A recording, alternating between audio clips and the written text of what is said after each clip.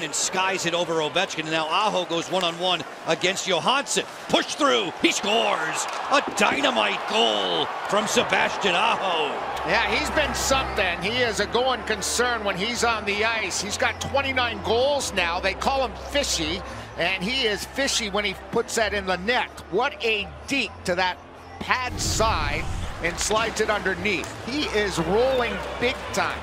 And here he comes, going one-on-one. -on -one. He knows it's a forward back. He gets inside position, a hard net drive that propels him across the paint. Then he puts it past the right pad, just enough room there to slide it in. He only had about three inches the width of the puck, and he makes the Caps pay. That's a shorty against the Caps.